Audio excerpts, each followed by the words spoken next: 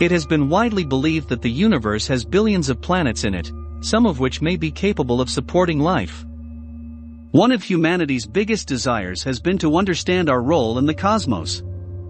For many years, some of history's finest minds have struggled with this subject. However, it took many centuries after the invention of the telescope, and a rudimentary knowledge of the scientific process for us to speculate about our solar system in more detail.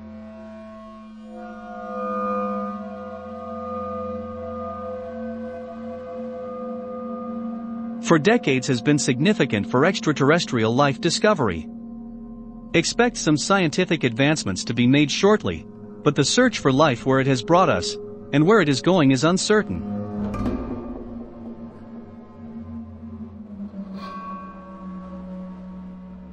Scientists confident that alien signals could be detected, have already been perusing the skies since that moment.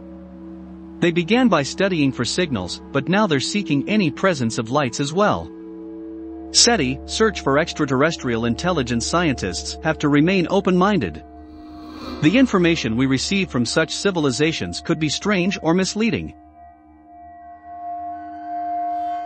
It is in essence how astronomers in the field are looking for unnatural and odd signals. They search deep space for an unknown phenomenon that is not the product of any known natural astrophysical event. To give an example, WOW's signal from 1977, which may be still unexplained, will always remain mysterious. Ohio State University's radio dish discovered something so unexpected that Jerry Ehman, the astronomer in charge of the discovery, recorded the single word wow. In the records worksheet, they went back over the same area numerous times in the hopes of getting another ping, but it was to no avail. Scientists disagree on the value of SETI research.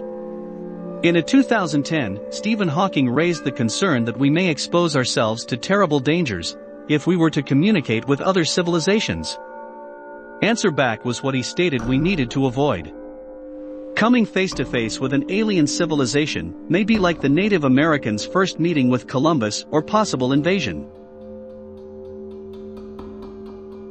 Researchers further down the line of thinking hold the belief that any species smart enough to arrive to Earth and enslave or devour us would have already learned that we're here. To ensure no backlash, revolutionary communication promises not to put any SETI words on the air until the debates have finished. Mankind has sent messages several times, most notably in 1974 with the Arecibo transmission.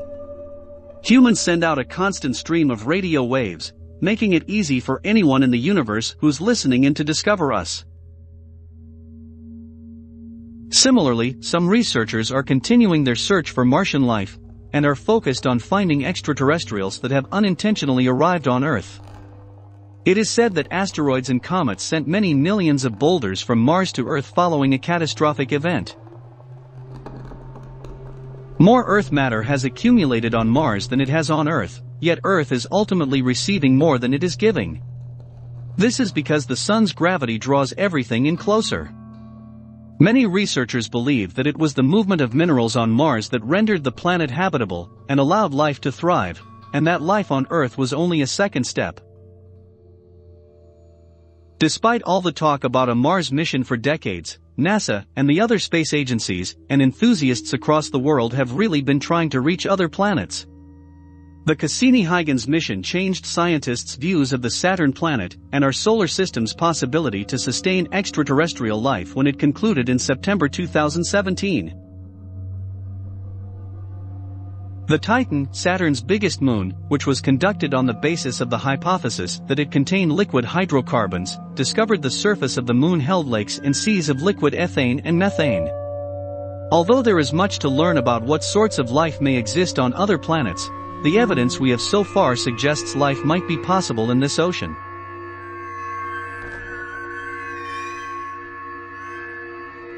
There have been a number of discoveries made in the previous few years showing the immense variety of planets in our galaxy. The information we have now owes a lot to the Kepler Space Telescope, which served NASA from 2009 to 2018. Kepler has helped identify the majority of 4,400 verified exoplanets so far, and it has been discovered that worlds are the most numerous in our cosmos.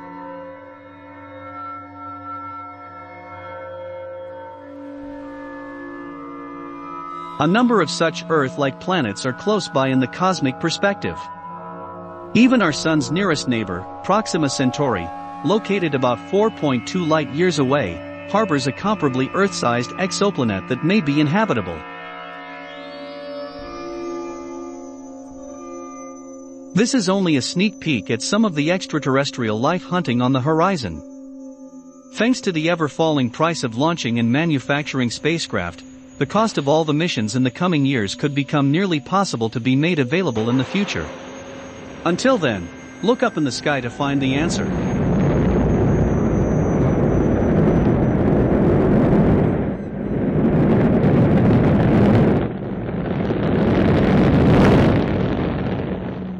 Thank you for taking the time to watch. In order to show your support for this video, please click on the like button. To view future videos, click on the subscribe button and if you have anything to say, please leave a comment.